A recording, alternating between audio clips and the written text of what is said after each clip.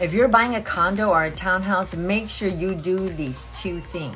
Hi, I'm Tanja Odzak and I sell homes in Oakland, Berkeley, and the San Francisco East Bay on both sides of the tunnel. In many ways, buying a condo is a lot easier than buying a home. And the reason for this is because the home's exterior is where most of the cost of maintenance and damage and repairs will happen. With a condo, you don't have to worry about the exterior. The HOA will take care of it. That's part of what your HOA fees go towards. So what's critical for you to look at when buying a condo? First thing is that giant wad of documents that comes from the HOA. And yeah, you as a buyer want to review those rules and regulations to make sure that you're okay with it. But I'm not talking about those. You need to look at the financials and the budget. You need to look to see whether there's any litigation and minutes.